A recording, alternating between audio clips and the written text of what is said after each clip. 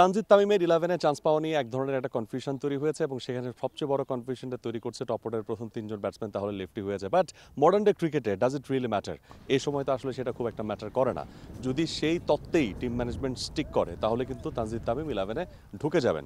এখন ব্যাপার হচ্ছে যে সিদ্ধান্তটা আসলে শেষ পর্যন্ত কি আসে টিম ম্যানেজমেন্টের মাথায় আসলে কি ঘুরছে এবং নেক্সট প্ল্যানিংয়ে আসলে বিজয় কিংবা তানজিদ তামিম কে আসলে অনেক বেশি ভালোভাবে আছেন, সেটাই আসলে দেখার বিষয়। যদি তানজিদ তামিম প্ল্যানে ভালো মতো থাকেন তাহলে তিনি হয়তোবা সুযোগটা পেতে যাচ্ছেন ইলেভেনে যদিও কম্বিনেশন মিলবে না বাট তারপরও হয়তোবা তাকে সুযোগটা দিতে চাবে।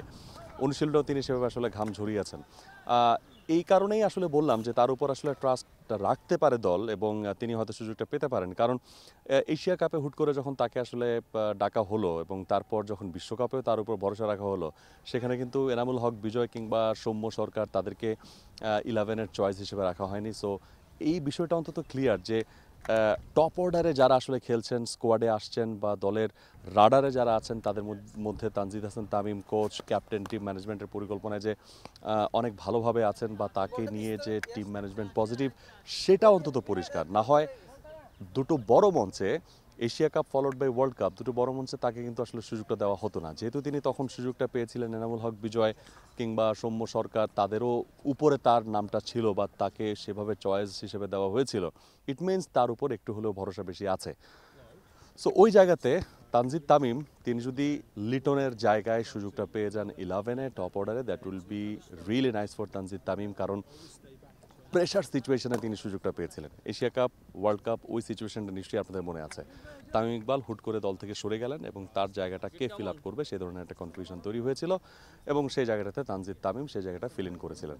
সো ওই জায়গাতে এক ধরনের একটা চাপ তো আসলে ছিলই। সেই সময় দেশে ক্রিকেটের যেই হাল হকিকত ছিল এবং সব কিছু মিলে যে এনভায়রনমেন্টটা ছিল, সেই এনভায়রনমেন্টে তানজিদ তামিমের উপর যে প্রেশার ছিল, সেই প্রেশার সিচুয়েশনে তিনি যেভাবে খেলেছেন, তাকে সাধুবাদ দিতে হয়। প্রথম দিকে কিছুটা স্ট্রাগল করেছেন। এশিয়া কাপ ভালো যায়নি ওয়ার্ল্ড কাপের শুরুটাও ভালো হয়নি। পরবর্তীতে ভারতের বিপক্ষে একান্ন রানের একটা ইনিংস তিনি খেলেছিলেন, যেটা আসলে পুরো বিশ্বকাপে তার একটা অন্যরকম অর্জন বলা যায় এবং সেটা যেহেতু ভারতের বিপক্ষে ছিল, ভারতের মাটিতে বিশ্বকাপের মঞ্চে সেই কারণে ইনিংসটাকে আরও বেশি সিগনিফিক্যান্ট হিসেবে কনসিডার করা হয়।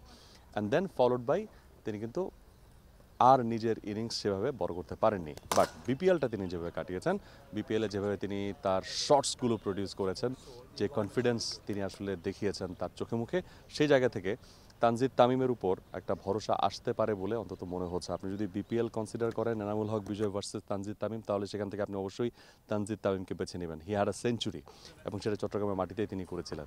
সো বিশ্বকাপ, এশিয়া কাপে তার উপর ট্রাস্ট রাখা, বিপিএলে সেই ট্রাস্ট থেকে তিনি যে আত্মবিশ্বাসটা দেখিয়েছেন, সেটাকে পুঁজি করে এই মুহূর্তে লিটনের জায়গায় তানজিদ তামিম যদি আসেন it will not be a bad choice definitely Tanjid Tamim deserves but দেখার বিষয় দল তার সঙ্গেই যাবে নাকি কম্বিনেশন বিবেচনায় এনামুল হক বিজয়কে চুজ করবে চট্টগ্রামের জহুর আহমেদ চৌধুরী স্টেডিয়াম থেকে Mahfuz Alam T sports For more updates, subscribe to our YouTube channel and click on the bell icon. Follow us on Facebook and Instagram.